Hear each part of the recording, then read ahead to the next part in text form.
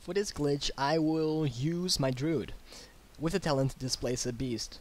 This will make me teleport to a uh, in a straight line in front of me, and as you can see, I am inside of the bank.